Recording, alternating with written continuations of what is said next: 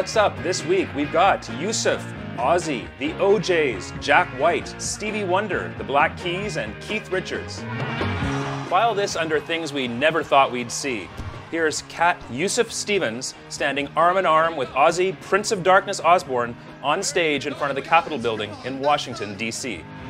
Yusuf had kicked things off with a verse of his Peace Train in what quickly became the most entertaining part of last Saturday's Rally to Restore Sanity March to Keep Fear Alive. things to come. And I believe it could be something good has begun. A peace train sounding loud, ride on the peace train. Ooh, ah, ah, ooh, ah. Come on, peace train.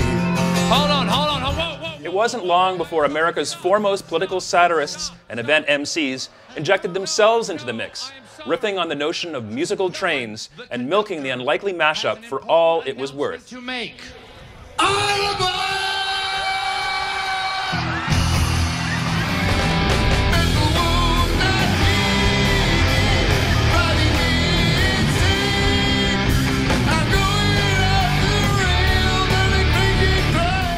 Not everyone was amused, however. Salman Rushdie later lashed out at Jon Stewart for inviting Yusuf, reminding him that Mr. Islam supported the Ayatollah Khomeini's death sentence against the Satanic Verses author back in 1989 and has never renounced or apologized for his hardline stance. But back on the mall, any unpleasant thoughts were quickly smoothed away by the arrival of the O'Jays, who serenaded the unwashed masses with their sonorous 1973 hit, Love Train.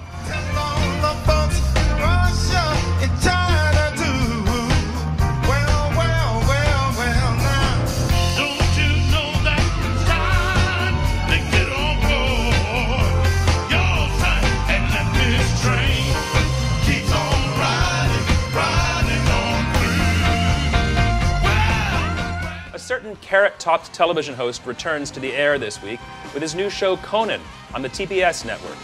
Now, it's been 10 months since the Tonight Show debacle shook up the late night lineup and left O'Brien without a job, but $45 million richer.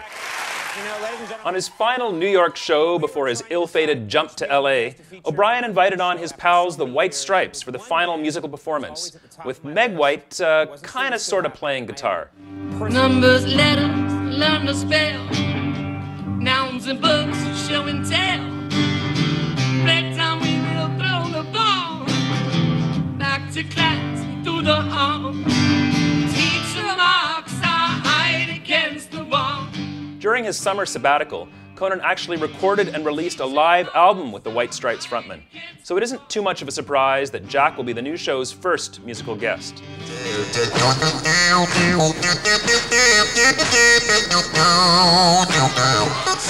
Knew that Stevie Wonder had a thing for the vocoder four years before Frampton and a good three decades before Daft Punk?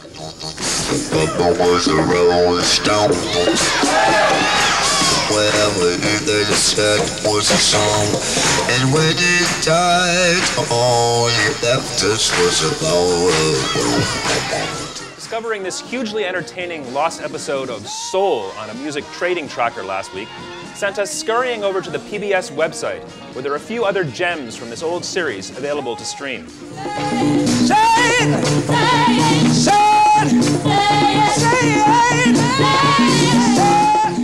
Among the many charms of this vintage recording are the audience shots. This 70s crowd is the hippest, funkiest group imaginable.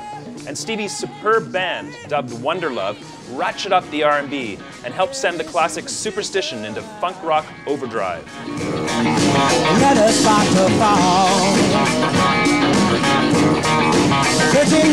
Baby, broke the looking glass.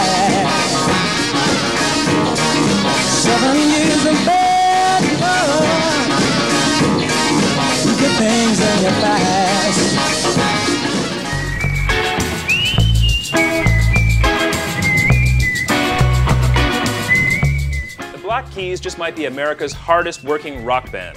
Their sixth Danger Mouse produced record, Brothers, dropped in May, and they promptly kicked off a summer tour that saw them hopscotching across the Atlantic, playing club dates, festivals, and TV slots, like this Letterman appearance where they showcased the album's first single, Tighten Up. Someone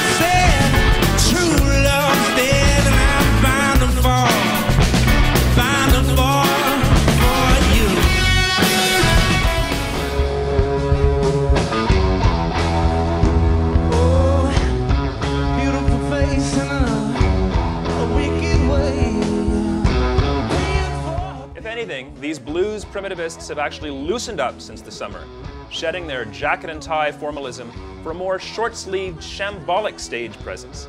Here they are on Jools Holland last week. They'll be touring Europe for the remainder of the year. Catch them if you can.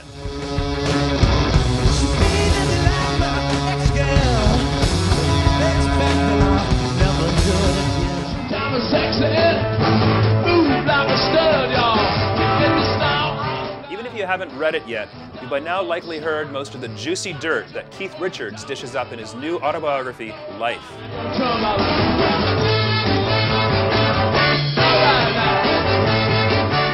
Among the revelations, he quotes Marianne Faithfull as having had no fun with Mick's tiny Todger, and says he misses his relationship with Jagger, who he cattily refers to as Her Majesty and Brenda. Here's the elegantly wasted one himself, alongside the rest of the world's greatest rock and roll band, in a small London club in 1971, showing us how it's done. I'm Barnaby Marshall. See you next week on Rock Peaks.